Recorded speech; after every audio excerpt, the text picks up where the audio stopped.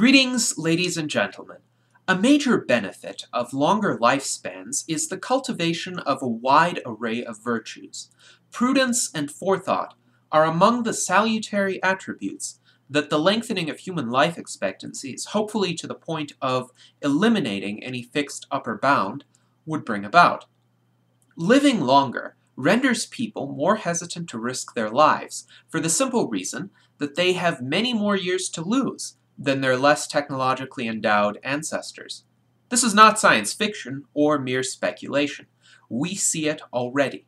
In the Western world, average life expectancies increased from the 20s and 30s in the Middle Ages to the early 30s circa 1800, to the late 40s circa 1900, to the late 70s and early 80s in our time.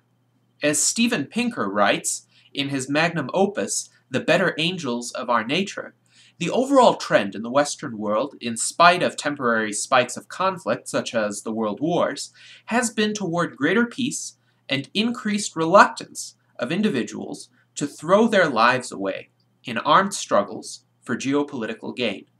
Long term declines in crime rates, automobile fatalities, and even smoking have accompanied and contributed to rises in life expectancy. Economic growth and improvements in the technologies of production help as well. If a person has not only life but material comfort to lose, this amplifies the reluctance to undertake physical risks even further. Yet, with today's finite lifespans, most individuals still find a non negligible degree of life threatening risk in their day to day endeavors to be an unavoidable necessity. Most people in the United States need to drive automobiles to get to work, in spite of the risk of sharing the road with incompetent, intoxicated, or intimidating other drivers. Over 30,000 people perish every year in the United States alone as a result of that decision. While the probability for any given individual of dying in an automobile accident is around 11 in 100,000, or 0.011% per year, this is still unacceptably high. How would a person with several centuries, several millennia, or all time ahead of him feel about this probability? Over a very long time, the probability of not encountering such a relatively rare event asymptotically approaches zero. For instance, at today's rate of U.S. automobile fatalities, a person living 10,000 years would have a probability of 0.3329, a mere 33.29% likelihood of not dying in an automobile accident. If you knew that a problem in this world had a two thirds probability of killing you eventually, would you not want to do something about it? Of course, the probabilities of tragic events are not fixed or immutable. They can be greatly affected by individual choices, our first line of defense against life threatening risks. Well known risk management strategies for reducing the likelihood of any damaging event include 1. Avoidance, not pursuing the activity that could cause the loss, for instance, not driving on a rugged mountain road, but this is not an option in many cases.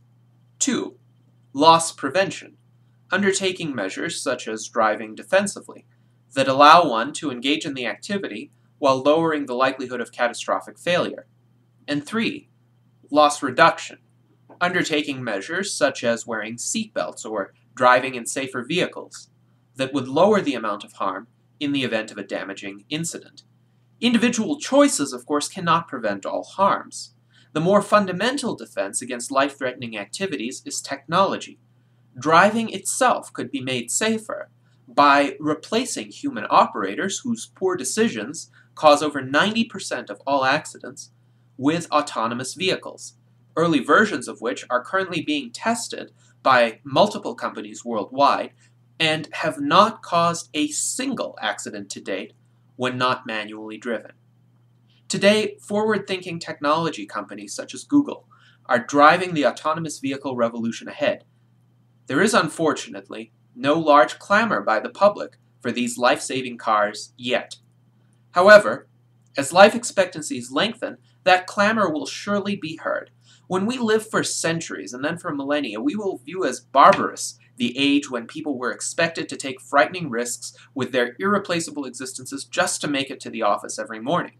We will see the attempt to manually operate a vehicle as a foolish and reckless gamble with one's life, unless one is a professional stunt driver who would earn millions in whatever future currency will then exist.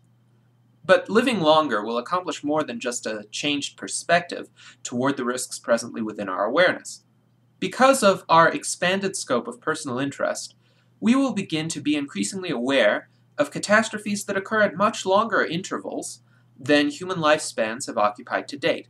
The impacts of major earthquakes and volcano eruptions, recurring ice ages, meteor strikes, and continental drift will begin to become everyday concerns, with far more individuals devoting their time, money, and attention to developing technological solutions to these hitherto larger than human scale catastrophes.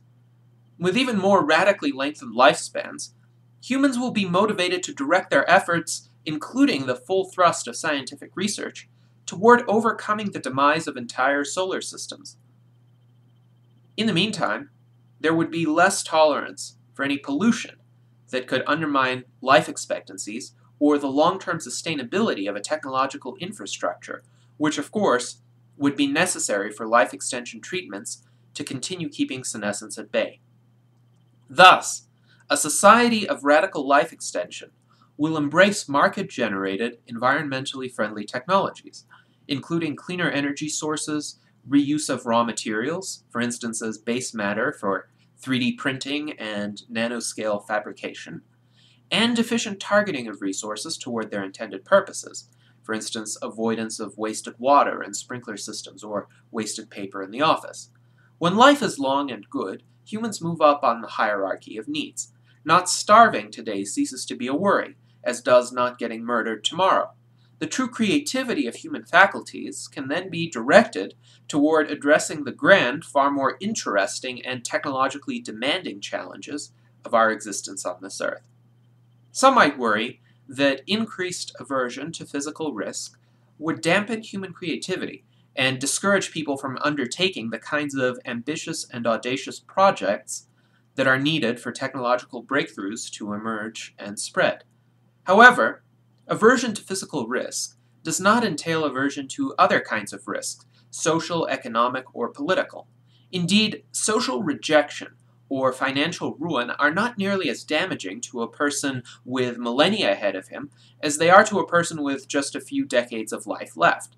A person who tries to run an innovative business and fails can spend a few decades earning back the capital needed to start again. Today, few entrepreneurs have that second chance. Most do not even have a first chance, as the initial capital needed for a groundbreaking enterprise is often colossal. Promising ideas and a meritorious character do not guarantee one a wealthy birth, and thus, even the best innovators must often start with borrowed funds, a situation that gives them little room to explore the possibilities and amplifies their ruin if they fail. The long-lived entrepreneurs in a world of indefinite life extension would tend to earn their own money up front and gradually go into business for themselves as they obtain the personal resources to do so. This kind of steady, sustainable entry into a line of work allows for a multitude of iterations and experiments that maximize the probability of a breakthrough.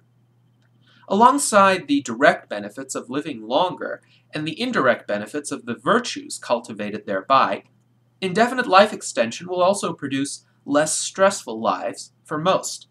The less probability there is of dying or becoming seriously injured or ill, the easier one can breathe as one pursues day to day endeavors of self improvement, enjoyment, and productive work. The less likely a failure is to rob one of opportunities forever the more likely humans will be to pursue the method of iterative learning and to discover new insights and improve technologies through a beneficent trial and error process whose worst downsides will have been curtailed through technology and ethics. Life extension will lead us to avoid and eliminate the risks that should not exist, while enabling us to safely pursue the risks that could benefit us if approached properly. Thank you very much.